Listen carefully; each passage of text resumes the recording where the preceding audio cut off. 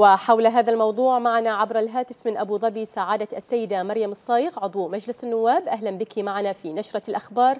وبداية هل لك أن تحدثين عن أهم ما تم خلال زيارة وفد مجلس النواب إلى دولة الإمارات العربية المتحدة الشقيقة؟ السلام عليكم جميعا. أرحب فيكم وبالمشاهدين الكرام وأشكركم على هذه الاستضافة. حيث أود بداية أن أؤكد أن زيارة وفد مجلس النواب برئاسة معالي السيد أحمد بن سلمان المسلم لدولة الإمارات العربية المتحدة الشقيقة تكتسب أهمية خاصة لتزامنها مع زيارة حضرة صاحب الجلالة الملك حمد بن عيسى آل خليفة ملك البلاد المعظم حفظه الله ورعاه للإمارات. وإجراء جلالته مباحثات أخوية ودية مع أخيه سمو الشيخ محمد بن زايد آل نهيان رئيس دولة الإمارات حفظه الله. وتأتي الزيارة البرلمانية بناء على دعوة رسمية كريمة من معالي السيد صقر قباش رئيس المجلس الوطني الاتحادي الإماراتي. وتمثل خطوة للانفتاح على مرحلة جديدة من مراحل العمل البرلماني المشترك والتعاون المتنامي الذي يتسم بالخصوصية.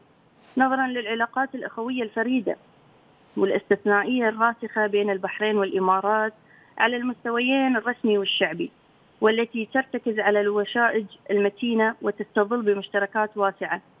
ولقد تشرف الوفد البرلماني اليوم بلقاء سمو الشيخ محمد بن راشد آل مكتوم نائب رئيس الدولة رئيس مجلس الوزراء حاكم دبي حفظه الله حيث اتسم اللقاء مع سموه بالحديث المعبر عن ما يجمع البحرين والإمارات من أخوة مستمرة ومتجذرة وما يوحدهما من مصير ورؤية وتطلعات وقد تلمسنا من سموه الإشادة الصادقة بما تشهده مملكة البحرين من تطور تنموي وديمقراطي متواصل استنارة برؤية جلالة الملك المعظم رعاه الله.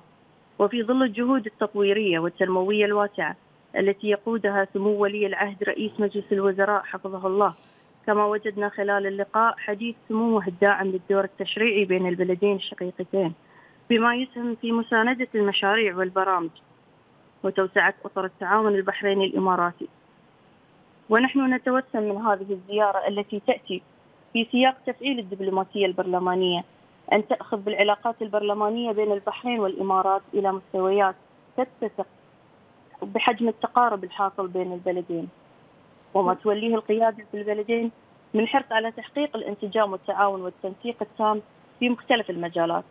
وهو ما انعكس على المباحثات التي جرت مع معالي رئيس المجلس الوطني الاتحادي الإماراتي حيث ارتكز الحديث على المضي قدما في التعاون البرلماني وتبادل الخبرات والتجارب وتوحيد المواقف في المحافل الإقليمية والدولية. ونحن في الحقيقة ننظر للبحرين والإمارات باعتبارهما وطن واحد نظير الشراكة المتقدمة والرؤية الموحدة إزاء مختلف القضايا الرامية لتحقيق السلام وخدمة الإنسانية ونشر القيم والقيم المبادئ والتسامح. ودعم الجهود الرامية لتحقيق الأمن والاستقرار في المنطقة والعالم. وهي قاعدة وجدنا الحرص خلال مباحثاتنا في الوقوف عليها. وبإذن الله من المقرر أن تشهد هذه الزيارة المزيد من اللقاءات مع المسؤولين والبرلمانيين في دولة الإمارات سعيا لتحقيق ما فيه خير للبلدين والشعبين الشقيقين. والسلام عليكم ورحمة الله وبركاته. نعم سعادة السيدة مريم الصايغ عضو مجلس النواب شكرا جزيلا لك.